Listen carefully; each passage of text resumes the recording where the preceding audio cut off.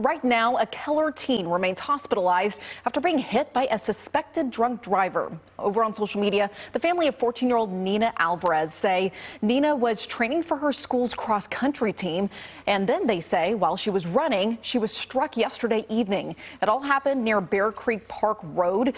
Keller police telling us Michael Mango was behind the wheel of that pickup truck, speeding and intoxicated when he failed to stop at the pedestrian crosswalk. Nina suffered a brain injury and multiple fractures to her legs and pelvis. We're also told her road to recovery will be at least a year.